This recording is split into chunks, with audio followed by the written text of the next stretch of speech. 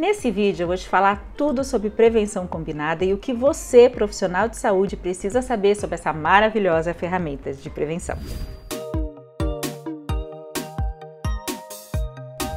Olá, prazer. Meu nome é Mari Libório, eu sou enfermeira, sou professora universitária e esse aqui é um canal para você que busca se tornar referência na enfermagem. Muita coisa mudou desde que lá na década de 80 a gente começou a diagnosticar os primeiros casos de HIV. De lá para cá, os avanços eles se deram tanto na questão diagnóstica, na questão de tratamento principalmente, mas também nas ferramentas de prevenção. E aí entra o que a gente chama de prevenção combinada, esse conjunto de ferramentas estratégicas que buscam fazer fazer o quê? Reduzir a ocorrência de novos casos de HIV.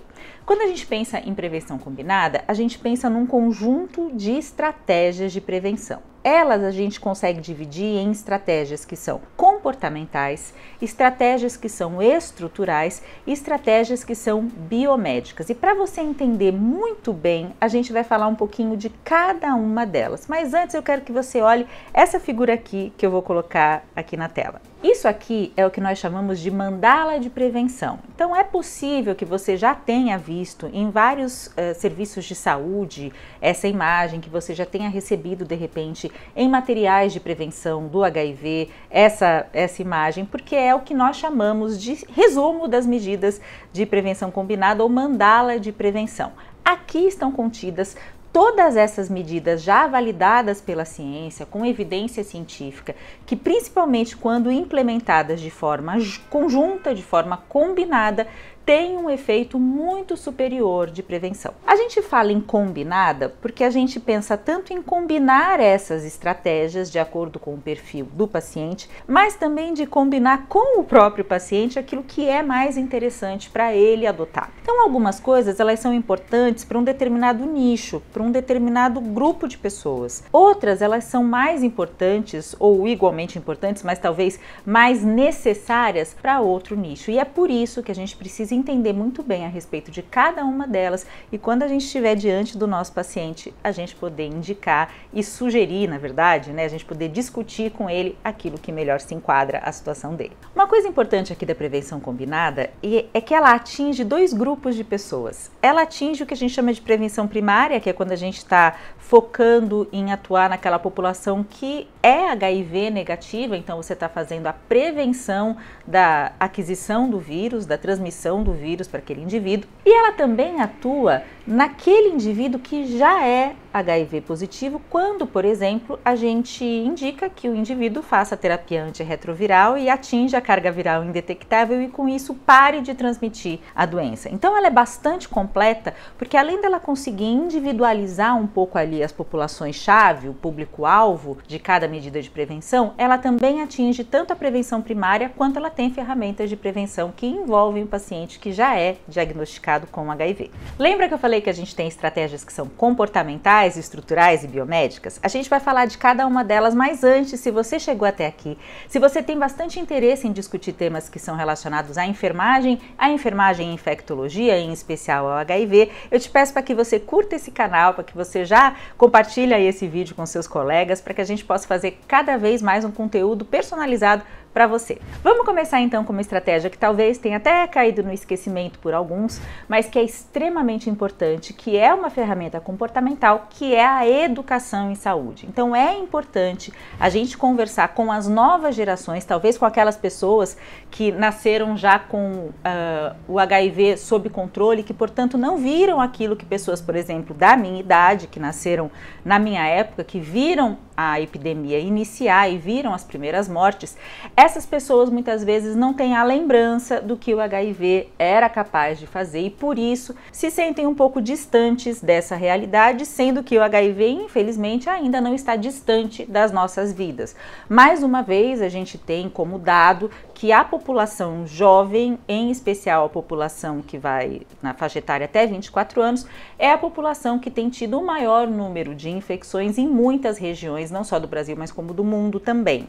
Então é importante que a gente converse com essas novas gerações e que existam programas de educação em saúde que visem conscientizar não só em relação à transmissão do HIV, mas também de outras ISTs. Isso é uma medida fundamental. Uma outra estratégia comportamental é realizar as testagens de HIV. Então a gente tem uma meta quando a gente pensa em HIV que é testar, diagnosticar e tratar. Então tudo começa por você descobrir o status sorológico do indivíduo. Então é necessário que o indivíduo tenha por natural se ele é sexualmente ativo e se eventualmente ele se expõe ao risco de contrair HIV. E aqui eu vou abrir um parênteses, eu já falei isso em vídeos anteriores, mas a gente precisa ter em mente que qualquer indivíduo que tenha tido uma relação sexual sem preservativo em algum momento da vida, naquele momento teve risco de contrair o HIV. Então a gente é, precisa pensar que a suscetibilidade pode ser não tão óbvia para você. Então a gente precisa discutir se é sexualmente ativo e já teve relação sexual sem preservativo com alguém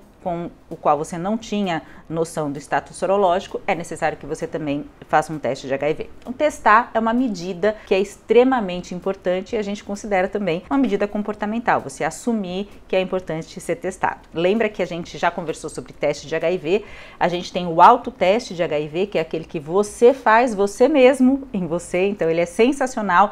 A gente tem o autoteste de HIV que é feito com fluido oral, então não precisa, não envolve nem gotinha de sangue, nem nada. Está disponível gratuitamente nos centros de testagem e aconselhamento do Brasil todo. Então, muitas regiões do Brasil às vezes não tem na própria cidade um centro de testagem e aconselhamento, mas tem municípios próprios que são responsáveis por atender uma área maior. Então, se informa no site do Ministério da Saúde que você vai conseguir chegar no endereço ali daquele local que você deve procurar. A gente tem também os testes que são vendidos em farmácia, então você pode comprar, eles custam em média 60, 70 reais, é, da última vez que eu procurei saber, e eles também são importantes e têm uma boa confiabilidade você pode fazer.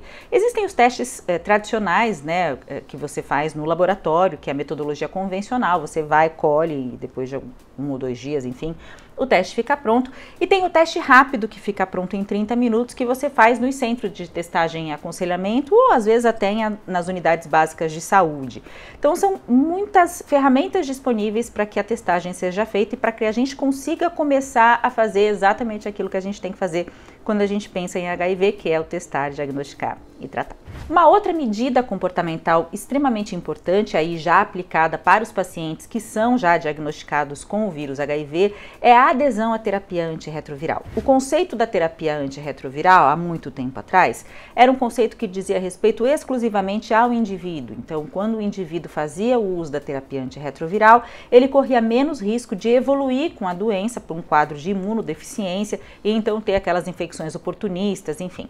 Só que Hoje, o que se sabe é que a terapia antirretroviral ela é importante não só para o paciente soro positivo, ela é importante para as suas parcerias, porque quando o indivíduo toma medicação, ele atinge um estado que a gente chama que é de carga viral indetectável, ou seja, eu colho o sangue desse paciente, eu não encontro o vírus circulando nesse paciente, e porque eu não encontro o vírus circulando nesse paciente, esse paciente não tem a chance de transmitir o HIV para as suas parcerias. Então, ela também é uma ferramenta de prevenção prevenção, por isso que ela faz parte da prevenção combinada. Uma outra estratégia também é o que nós chamamos de redução de danos, que no caso da redução de danos voltada à transmissão do HIV, a gente prioriza aqueles casos onde há dependência química que envolve o uso de compartilhamento de seringas e agulhas. Isso aqui no Brasil é algo que não ocorre com tanta frequência assim, a gente tem um consumo maior de outros tipos de, de drogas, de entorpecentes, mas isso ainda ocorre mesmo que numa escala menor. Então, a redução de danos, na verdade, seria você viabilizar acesso desse indivíduo que tem dependência química, não só o acompanhamento para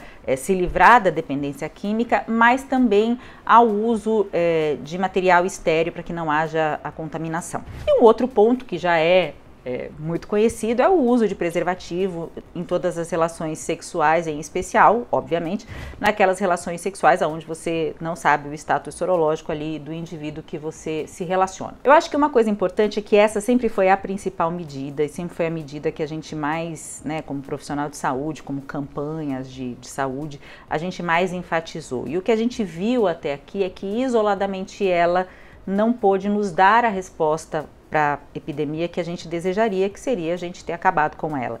Né? A gente não consegue acabar e a gente precisa contar com outras formas. Então, é por isso que a gente precisa do preservativo e também a gente precisa muitas vezes fazer combinações aí adicionais a essa medida porque isoladamente, talvez por uma questão de adesão do indivíduo ou até de outros contextos pessoais, o preservativo não dá conta da gente fazer tudo aquilo que a gente precisa de, de medida de prevenção. Aí a gente vai seguir para as medidas que são medidas estruturais e isso diz muito respeito ao indivíduo conseguir ter acesso, por exemplo, a tudo isso que eu acabei de falar. Então eu falei para você que tem que testar, eu falei para você que tem que tratar, falei para você que tem que usar preservativo, falei para você que tem, mas ele tem aonde fazer isso tudo? Então é necessário que o poder público disponibilize para todos os cidadãos a condição de ter acesso ao tratamento antirretroviral, de ter acesso ao diagnóstico, de ter acesso ao acompanhamento e que haja garantia de que esse indivíduo está vinculado a esse serviço, que esse indivíduo é alguém que entende a importância, então ele recebe todo um aconselhamento e uma educação em saúde que faz com que ele entenda a importância que tem dele usar essa estrutura. Uma outra coisa importante quando a gente fala também em estrutura é entender que tanto as medidas, por exemplo, de educação, que estão ali nas medidas comportamentais, mas até muitas vezes as questões estruturais, elas precisam contemplar diferentes perfis de pessoas, né? Então, para algumas populações-chave, é necessário que a gente vá até elas, então é necessário que a estrutura se mova até onde estão essas pessoas. Então, muitas vezes é importante que uma população como é, os profissionais do sexo, por exemplo, sejam abordados em relação à prevenção, mas que isso seja feito ativamente.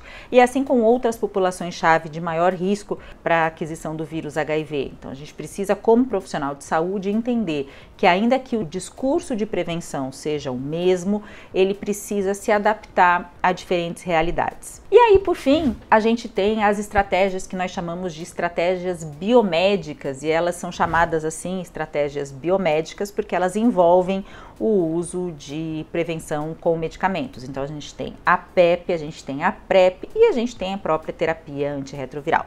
Quando a gente fala de PEP, a gente está falando de profilaxia pós-exposição, então a gente está falando daquilo que acontece quando o indivíduo, por exemplo, teve um acidente com material biológico, né, espetou o dedo com uma agulha, enfim, ou qualquer coisa nesse sentido, ou teve uma relação desprotegida, entendeu né, que isso é um risco e ele tem como procurar o serviço de saúde em até 72 horas e começar um protocolo de prevenção. Esse protocolo de prevenção são 28 dias de medicação antirretroviral que tem uma excelente resposta na questão de não fazer a soroconversão ali do HIV. Então, caso ele tenha entrado em contato com o vírus HIV, essa é uma medida bastante eficaz para que ele não adquira a infecção.